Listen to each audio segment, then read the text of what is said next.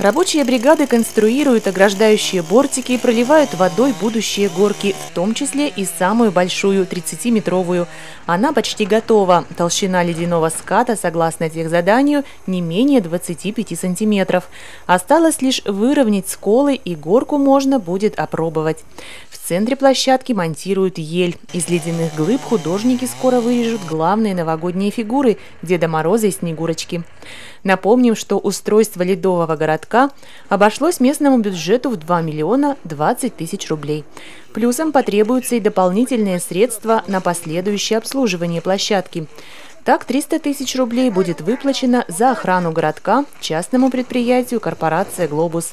150 тысяч компании «Электропрофи» за демонтаж снежно-ледяных конструкций. За 100 тысяч рублей фирма «Триада» обеспечит фейерверк на открытии городка.